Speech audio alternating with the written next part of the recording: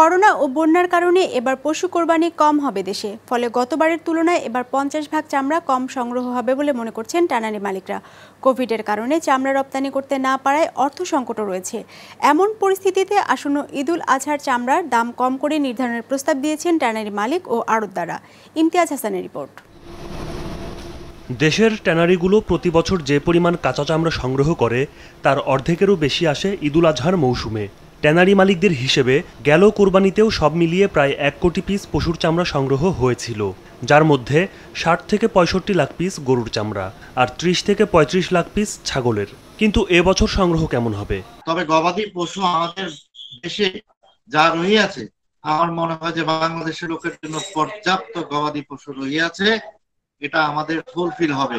কিন্তু এই সমস্ত কারণে মেন্টালিটি অনেকের চেঞ্জ হয়ে গিয়েছে। কেউ দুটা, চারটা, পাঁচটা গরু যারা স্লোটিং করতো, জবাই দিত আল্লাহর বাস্তে, তারা অর্ধেক করে ফেলবে।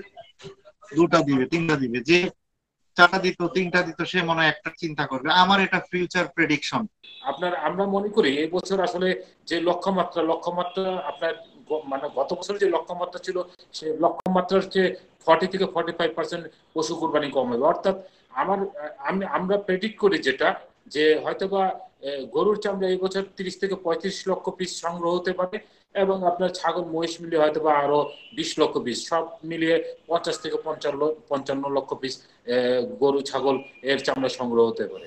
গেল কোরবানিতে ঢাকায় প্রতি বর্গফুট গরুর চামড়ার দাম পঁয়তাল্লিশ থেকে পঞ্চাশ টাকা বেঁধে দিয়েছিল সরকার। ঢাকার বাইরে যা ছিল পঁয়ত্রিশ থেকে চল্লিশ টাকা। তবে এবছর চামড়ার দাম কমিয়ে নির্ধারণের প্রস্তাব দিয়েছে ট্যানারি মালিক ও আড়তদাররা ট্যারিফ কমিশন একটা মূল্য, একটা দেওয়ার চেষ্টা করেছে বাণিজ্য মন্ত্রণালয়কে, যেটা আমাদের, আম- কাছে যুক্তিযুক্ত মনে হয়। তারা যে ঢাকার চামড়াটি চল্লিশ টাকা স্কোয়ার ফিট এবং ঢাকার বাইরে চামড়া তিরিশ টাকা স্কোয়ার ফিট কিন্তু আমরা মনে করি যে এরা বাজার মূল্যের চেয়ে বেশি, সুতরাং এর চেয়ে আপনার কম হওয়া উচিত।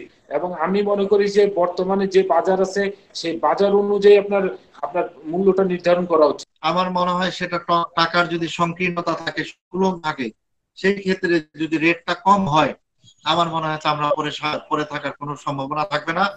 ব্যবসায়ীদের হিসেবে বর্তমানে ঢাকার বাজারে প্রতি বর্গফুট গরুর চামড়া বিক্রি হচ্ছে পঁচিশ থেকে ত্রিশ টাকায়। ঢাকার বাইরে যা পনেরো থেকে বিশ টাকা।